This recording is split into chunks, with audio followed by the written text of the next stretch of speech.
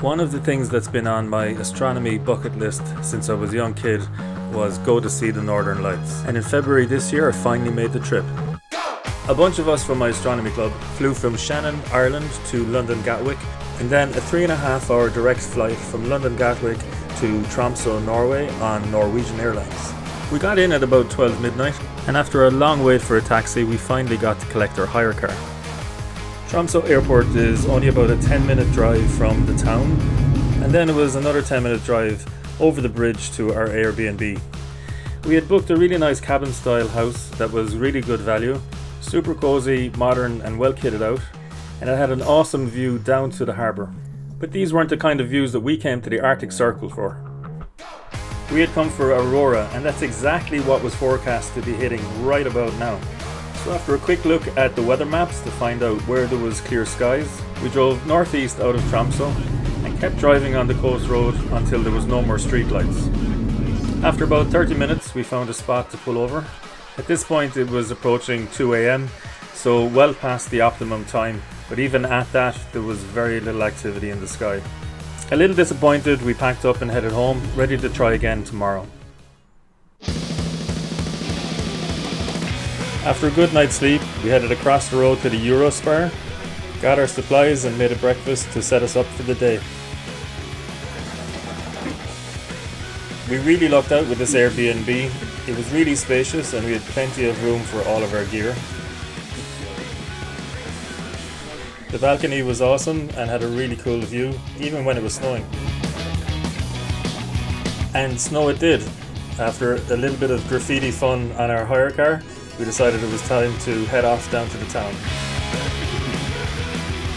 The famous Fjellheisen cable car was directly behind our house, but unfortunately it was closed on the days that we were there.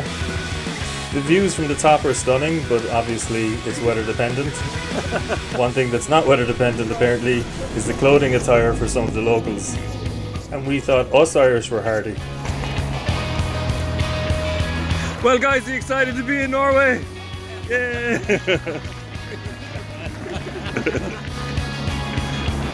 Maybe it was naive optimism, but spirits were high as we walked down towards the town.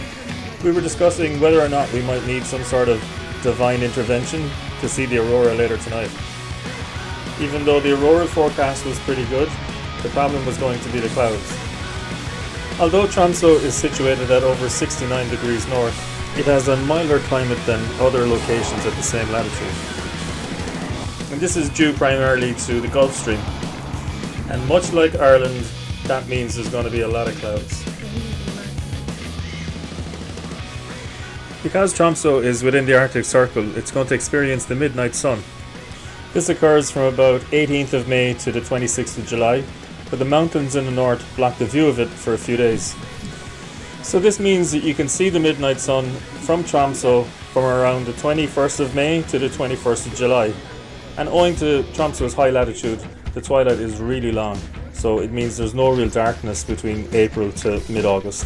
If you want to try see the northern lights, don't go into summertime. Sounds obvious, but we actually met a couple of tourists who had made that mistake on a previous visit. The town itself is a really nice mix of old and new.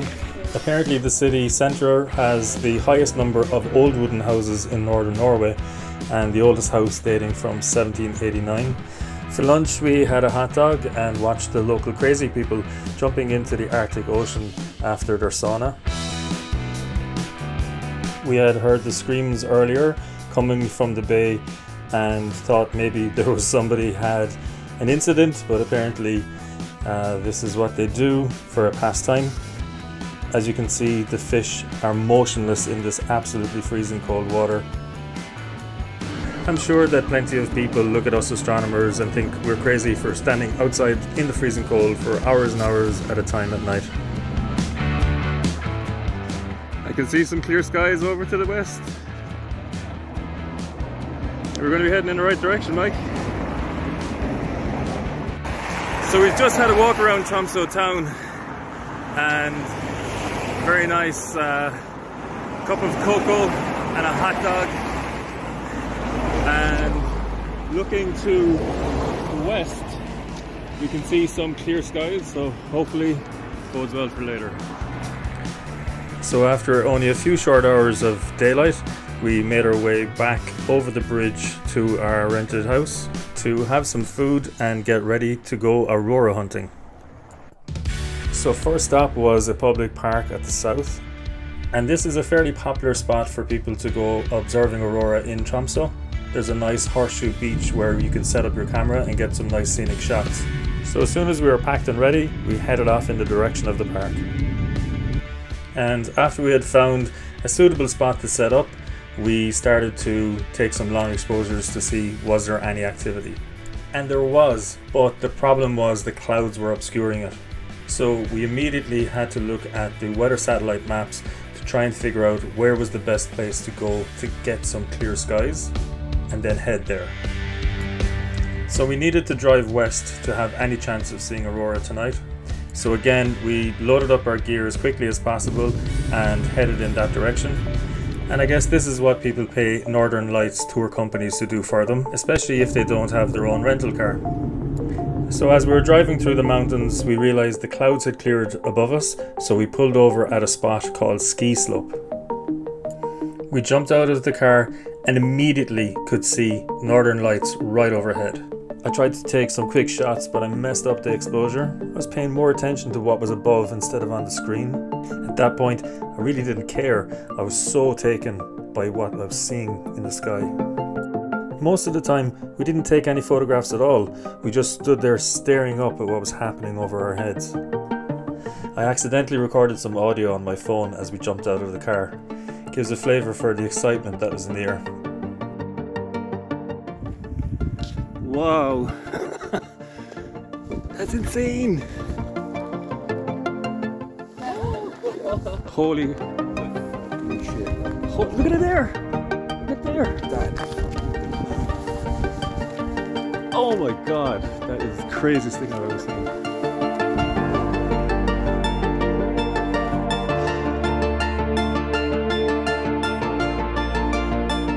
For the next couple of hours, we were treated to an incredible display.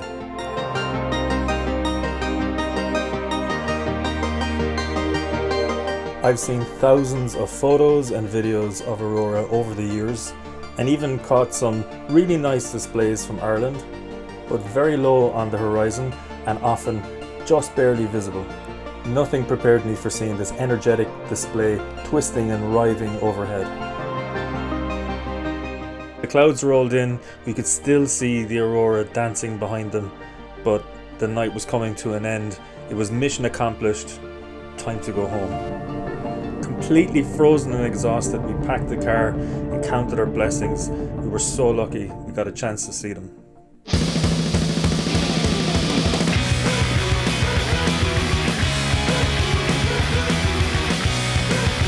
He was in. The next morning we were still buzzing from the night before, so we got up early and headed back into town to do a little bit more exploring. We were lucky last night because it just started snowing as we left, so it didn't really interfere with our drive home, even though a lot of it was underground. We checked the temperature last night and it hit 1.4 degrees Fahrenheit, that's minus 17 in real measurements. Only joking, they're driving the wrong side of the road here also. But this part of Norway is steeped in maritime history, and walking around the town it's clear to see that it's still a huge part of their culture and their tourism. We floated the idea of going on a nighttime cruise, but the weather had taken a bit of a turn so we decided against it. We were constantly checking the Aurora forecast, and although it looked like it was going to be pretty good for Aurora, the weather was going to be against us. So after some food, we headed to the Museet. That's the Arctic University Museum of Norway to you and me. And man was life tough back in the day. The native Sami, frontiers people and the explorers were hardy, having only experienced for a couple of days a mild version of the subarctic temperatures that these astronomers would have endured. I left the museum with a profound sense of gratitude for not just the creature comforts that we have today, but also for the advances in telescopes and technology, as I'm sure the local wildlife living in the area are as well. So the museum was well worth a visit, plenty of really good displays and fascinating information. Highly recommend taking a trip there. Then it was time to make the pilgrimage back over the bridge again to our house, avoiding the grit spreaders, and check the weather.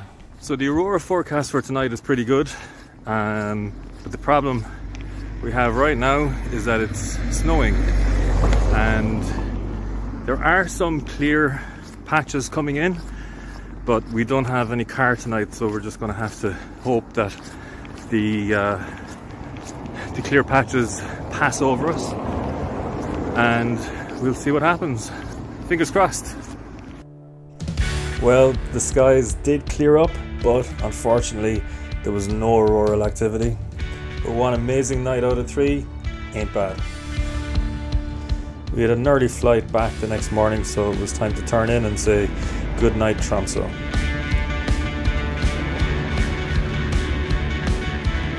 6 a.m. flights are tough at the best of times, but in a blizzard at minus 17 degrees adds a whole new dimension to it. Don't ask why I'm only wearing a t-shirt. I like to travel light, and that's the way I'm gonna stay. Rain or Arctic blizzard. Norwegian Airlines are a great company to fly with, and Tromsø Airport is quite small but fully functioning and they are extending. We were slightly delayed while they cleared the runway and de-iced the plane. Had never seen this in action before, so it was quite fascinating to watch. And just like that, our three nights Aurora chasing in Tromsø had come to an end. Will I be back? Absolutely. But next time for longer. More nights simply means more chances to see Aurora. And seeing it once is absolutely not enough. Thanks for watching. If you want to see the photos in this video, check out my Flickr. Good luck, Aurora chasing and clear skies.